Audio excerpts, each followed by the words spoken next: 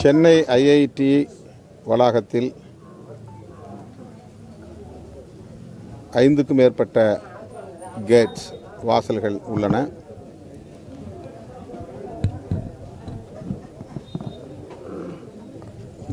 முக்கியமாக main Gates அது என்ன சாலை அது? அடையாறு. சர்தார் பட்டேல் சாலை. சர்தார் பட்டேல் ரோட். அதுதான் முக்கியமான பிரதானமான வாசல்களை கொண்டது. அவை இல்லாமல் நான்கு வாசல்கள். அறநூறு ஏக்கர் பரப்பளவு கொண்ட இந்த கல்வி நிறுவனத்தில் நான்கு திசைகளிலும் வாசல்கள் உள்ளன. அதிலே ஒன்று கிருஷ்ணா கேட் என்னும் இந்த வேளச்சேரி கேட். இது காந்தி சாலையோடு தொடர்புடைய ஒரு கேட். இந்த நிறுவனம் உருவான காலத்திலிருந்து இது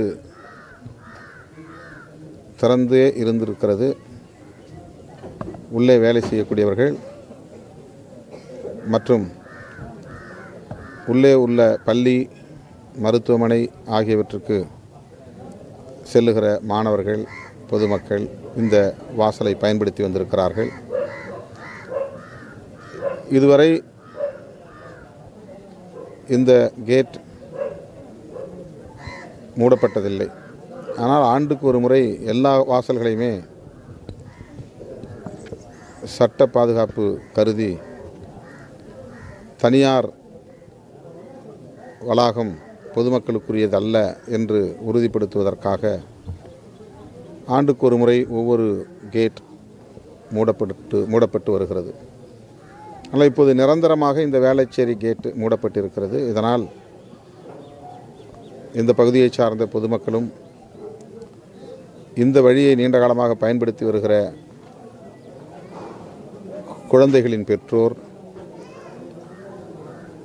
உள்ளே வேலை செய்யக்கூடிய பணியாளர்கள் உள்ளே தங்கி பயிலக்கூடிய விடுதி மாணவ மாணவியர்கள் இப்போது பாதிக்கப்படும் நிலை ஏற்பட்டிருக்கிறது. இது தொடர்பாக இந்த பகுதி வாழ் பொதுமக்களும் ஐஐடி நிறுவனத்தில் பயிலும் மாணவர்களும் மாணவியரும் என்னிடத்திலே மனு ஒன்றை கொடுத்தார்கள். அதன் அடிப்படையில் இன்றைக்கு நான் ஐஐடி இயக்குனர் திருமிகு பாஸ்கர ராமமூர்த்தி அவர்களை நேரிலே சந்தித்து விடுதலை சிறுத்தைகள் கட்சியின் சார்பில் இந்த கேட்டை மூடக்கூடாது திறந்து வைக்க வேண்டும் என்று கோரிக்கை விடுத்து மனு கொடுத்திருக்கிறேன். இது மூடப்பட்டதற்கு அவர் சில காரணங்களை கூறுகிறார். ஆனால் உள்ளே தங்கி பயிலும் மாணவ மாணவியர் அந்த காரணங்கள் ஏற்புடையவை அல்ல. வேறு ஏதோ உள்நோக்கத்தோடு இது மூடப்படுகிறது. எங்களுக்கு எந்த பாதிப்பும் இந்த கேட் மூலம் இதுவரையில் ஏற்பட்டதில்லை. எனவே இதை நிரந்தரமாக திறக்க வேண்டும் என்று என்னிடத்தில் இப்போது முறையிட்டார்கள். இயக்குனரை சந்தித்து விட்டு வந்த பிறகு மாணவ மாணவியர் என்னிடத்திலே முறையிட்டார்கள். மாணவர்களின் கோரிக்கைகளை ஐஐடி நிர்வாகம் கனிவோடு பரிசீலிக்க வேண்டும். இதனால் எந்த பாதிப்பும் மாணவ மாணவியருக்கு இல்லை என்ற பிறகு இந்த கேட்டினை மூடி வைப்பது நல்லதல்ல. இந்த பகுதியில் காந்தி சாலை பகுதியில் பெரும்பான்மையாக தலித் மக்கள் வசிக்கிறார்கள். இவர்களுடைய நிலம்தான் ஐஐடிக்காக ஏற்கனவே ஐம்பது ஆண்டுகளுக்கு முன்பு வழங்கப்பட்டது. ஆகவே அவர்கள் நாங்கள் தலித்துகள் என்பதனால் ஒருவேளை இந்த நிர்வாகம் இப்படி முடிவெடுத்திருக்கிறதோ என்று தங்களுடைய ஆதங்கத்தையும் வெளிப்படுத்தியிருக்கிறார்கள். இதையும் நான் இயக்குனரின் பார்வைக்கு கொண்டு சென்றேன். ஆனாலும் அவர் எடுத்த நிலைப்பாட்டில் உறுதியாக இருக்கிறார். அவர் இதை கனிவோடு பரிசீலிக்க வேண்டும் என்று மீண்டும் வற்புறுத்த கடமைப்பட்டிருக்கிறேன். இதனால் மாணவ மாணவியர்களுக்கு உள்ளே பணியாற்றக்கூடிய பணியாளர்களுக்கு எந்த பாதிப்பும் நேராது. பாதுகாப்பு நடவடிக்கைகளை மேலும் வலுப்படுத்த வேண்டுமே தவிர இந்த வாசலை மூடுவது சரியல்ல என்பது விடுதலை சிறுத்தைகளின் கருத்து. ஐஐடி நிர்வாகம் குறிப்பாக இயக்குனர் இதனை பரிசீலிப்பார் என்று நான் நம்புகிறேன். விரைவில் இந்த வாசலை திறப்பார் என்றும் நம்புகிறேன். அவரை பொறுத்தவரையில் எடுத்த முடிவு சரியானதென்றும் அதிலேயே உறுதியாக இருக்கப் போவதாகவும் கூறியிருக்கிறார்.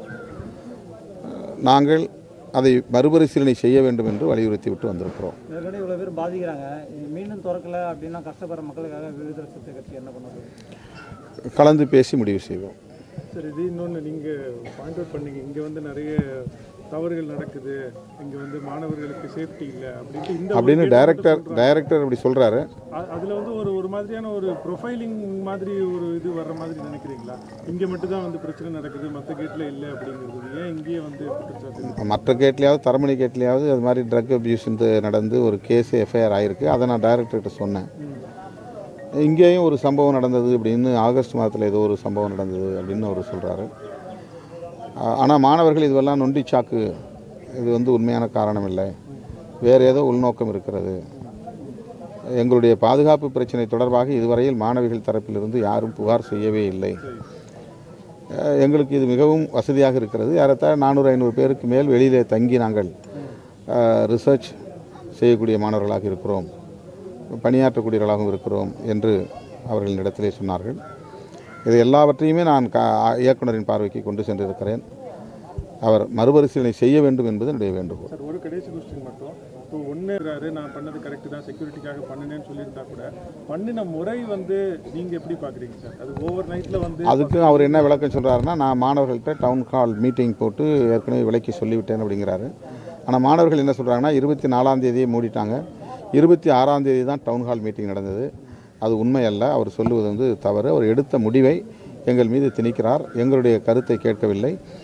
இதற்கு ஒப்பீனியன் போல் நடத்த வேண்டும். மாணவர்கள் இடத்திலே பெரும்பான்மையான மாணவர்கள் எதை விரும்புகிறார்கள் என்று கருத்து கேட்க வேண்டும் என்று அவர்கள் ஒரு கோரிக்கை வைத்திருக்கிறார்கள். எனவே நான் ஊடகத்தின் வாயிலாக நிர்வாகத்திற்கு விடுக்கிற வேண்டுகோள் மாணவர்களின் கோரிக்கையை பரிசீலிக்க வேண்டும். அவர்களின் கருத்தை அறிந்த பின்னர் உறுதியான ஒரு முடிவை எடுக்க வேண்டும். என்று கேட்டுக்கொள்கிறேன்.